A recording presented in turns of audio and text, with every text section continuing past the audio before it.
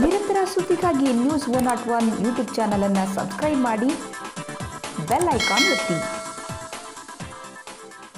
ಈ ಕ್ಷೇತ್ರದ ಜನಪ್ರಿಯ ಶಾಸಕರು ಜನ ಓಟ ಗೆಲ್ಲಿಸಿದ್ದಾರೆ ಅವ್ರ ಋಣ ತೀರಿಸಬೇಕು ಅಂತೇಳಿ ಸರ್ಕಾರ ಕಾರ್ಪೊರೇಷನ್ನು ಮತ್ತು ಮೂಡ ಎಲ್ಲ ಎಲ್ಲೆಲ್ಲಿ ಹಣ ತಂದು ಸಾರ್ವಜನಿಕ ಕೆಲಸ ಮಾಡ್ಬೋದು, ಅದನ್ನು ಪ್ರಾಮಾಣಿಕವಾಗಿ ಈ ಭಾಗದಲ್ಲಿ ಮಾಡ್ತಿದ್ದಾರೆ. ಇವತ್ತು ಎರಡು ಕೋಟಿ ಅನುದಾನದಲ್ಲಿ ಭೂಮಿ ಪೂಜೆಯನ್ನು ಮಾಡಿದ್ದೇವೆ. ಮುಖ್ಯ ರಸ್ತೆಗೆ ಮಾಡಿದ್ದಾರೆ. ಇನ್ನು ನೆಕ್ಸ್ಟು ಇನ್ನು ಏಳೆಂಟು ದಿವಸದಲ್ಲಿ ಬೆಂಗಳೂರು ಮೈಸೂರಿನ ಸುತ್ತಮುತ್ತ ರಿಂಗ್ ರಸ್ತೆ ಏನಿದೆ, ಅದು ಕೂಡ ತೊಂಬತ್ತು ಏಳು ಕೋಟಿಗೆ ಆಗಿದೆ ವರ್ಕ್ ಆರ್ಡ್ರ್ ಸದ್ಯದಲ್ಲಿ ಆಗ್ತದೆ. ಅದಾದರೆ ಬಹುತೇಕ ಮೇನ್ ಮೇನ್ ರಸ್ತೆಗಳು ಏನಿದೆ, ಮೈಸೂರು ಸುತ್ತಮುತ್ತ ಎಲ್ಲ ಡಾಂಬರೀಕರಣ ಆಗ್ತವೆ. ಎರಡು ಕ್ಷೇತ್ರಗಳು ಅತ್ಯಧಿಕ ಬಹುಮತದಿಂದ ಗೆಲ್ತೇವೆ.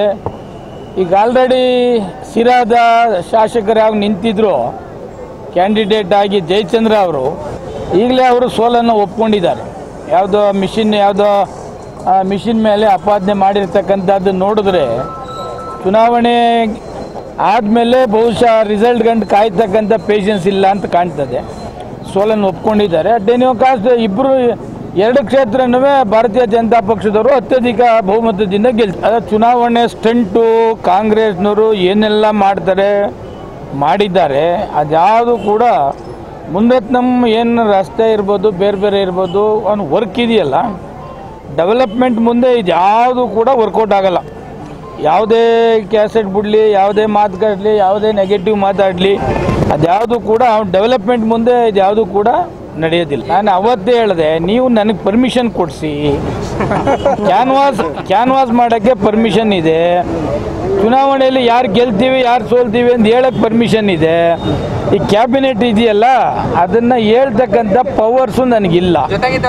ಬೈ ಚಾನ್ಸ್ ನಾನು ಏನಾರ ಹೇಳಕ್ ಹೋದ್ರೆ ನನ್ನ ನನ್ನ ಪೋರ್ಟ್ಬಲ್ ಏನು ಕಳ್ಕೋಬೇಕಾಯ್ತದೆ. ಅದಕ್ಕೆ ಹೇಳ ನಾವು ಡಿಸೆಂಬರ್ ಗಂಟ ಮುಂದೂಡಿದ್ದು. ಈ ಕೋವಿಡ್ ಪ್ರಯುಕ್ತನೇ ಡಿಸೆಂಬರ್ ಗಂಟ ಮುಂದೂಡಿದ್ದು. ಬಟ್ ಹೈಕೋರ್ಟ್ ಎಂಟರ್ಫಿಯರೆನ್ಸ್ ಆಗಿ ನವಂಬರ್, ಡಿಸೆಂಬರ್ ಒಳಗಡೆ ಚುನಾವಣೆ ಮಾಡಬೇಕು ಅಂತಕ್ಕಂಥದ್ದು ಹೈಕೋರ್ಟ್ ಆದೇಶ ಆಗಿದೆ. ಆದರೂ ನಾವು ಜನರಲ್ ಬಾಡಿನ ಡಿಸೆಂಬರ್ ಇಪ್ಪತ್ತೈದು ಗಂಟೆ ಮುಂದೂಡಿದ್ದೀವಿ. ಏನು ಆಡಿಟ್ ರಿಪೋರ್ಟ್ಸ್ ಕೊಡಬೇಕು, ಅದು ನವಂಬರ್ ಇಪ್ಪತ್ತೈದರ ಗಂಟ ಕೊಡ್ಬೋದು.